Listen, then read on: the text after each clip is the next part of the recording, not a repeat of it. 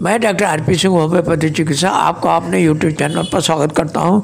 यदि आप किसी रोग से परेशान हैं तो आपको जानकारी रखनी होगी कि आपके रोग के लक्षण कब घट बढ़ रहे हैं। बाईं तरफ़ रोग घटे या बढ़े तो इसके उपचार के लिए होम्योपैथी की दवा, agaricus 30 number, argentum metallicum 200 number, argentum nitricum 30 number और साफी 200 नंबर। इन सभी दवाओं को आधे कप पानी में चार चार बूंद दिन में तीन बार लें।